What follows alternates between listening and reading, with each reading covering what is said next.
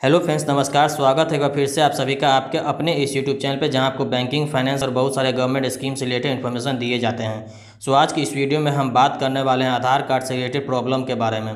जैसे आप लोग तो आधार कार्ड यूज़ करते होंगे, लेकिन आप लोग को यही नहीं पता होगा कि आप लोग कौन सा जो आधार कार्ड में मोबाइल नंबर दिए हैं, या फिर आपको गुम हो गया तो वो कौन सा मोबाइल नंबर है। यहाँ पर मैं आपको इस वीडियो में स्टेप बाय स्टेप सारा कुछ आपको बताऊँगा किस तरह से आप यहाँ पर अपना मोबाइल नंबर को पता कर सकते हैं कि आपके आधार कार्ड में कौन सा mobile number register so video पूरा देखिएगा, स्किप नहीं कर अगर मेरे चैनल पर पहली बार तो चैनल को सब्सक्राइब कीजिए, लाइक कीजिए दोस्तों में शेयर कीजिए। तो वीडियो शुरू करते हैं।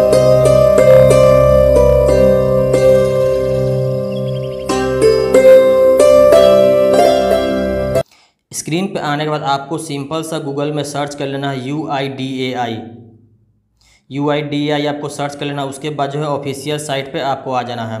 ऑफिशियल साइट पे आने के बाद आपको यहाँ पे सिंपल सा जो है इस तरह इंटरफेस आपको माई आधार पे क्लिक करना है।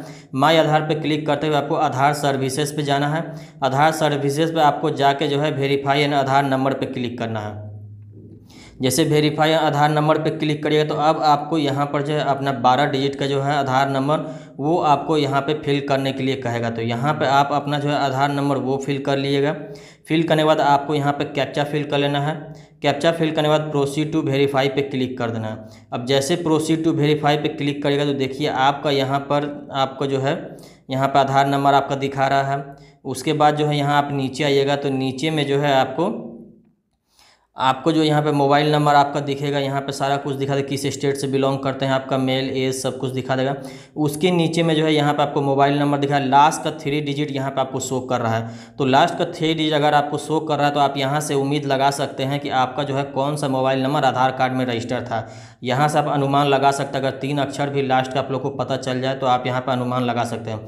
अगर यहाँ पर पूरा क्रॉस का साइन लगा हुआ है, पूरा में तो समझ जाइए कि आपके आधार कार्ड में कोई भी मोबाइल नंबर रजिस्टर नहीं है, वो फुल्ली तरह से वो ब्लैंक है। यहाँ पे कोई आधार कार्ड में आपका मोबाइल नंबर रजिस्टर नहीं है। अगर आपका पूरा क्रॉस नहीं है, अगर आपका लास्ट थ्री डिजिट का अक्षर दिख रहा है तो आप यहाँ से अनुमान लगा लिए आपका कौन सा जो है आधार कार्ड में अपना मोबाइल नंबर रजिस्टर है।